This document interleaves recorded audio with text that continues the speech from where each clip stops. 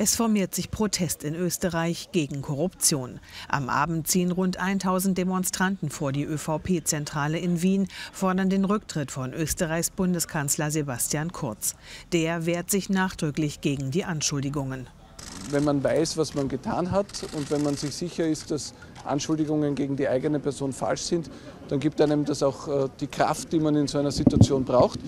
Und ich werde die Kraft nutzen, um mich gegen alle falschen Vorwürfe gegen mich zu wehren, und zwar mit allen rechtlichen, aber auch mit allen demokratischen Mitteln, die in unserem Rechtsstaat zur Verfügung stehen sagt er und pocht auf die Unschuldsvermutung.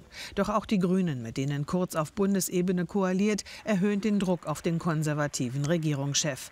Sie stellen die Handlungsfähigkeit von Bundeskanzler Kurz in Frage und haben alle im Parlament vertretenen Parteien zu Gesprächen eingeladen, um über die Regierungskrise zu beraten.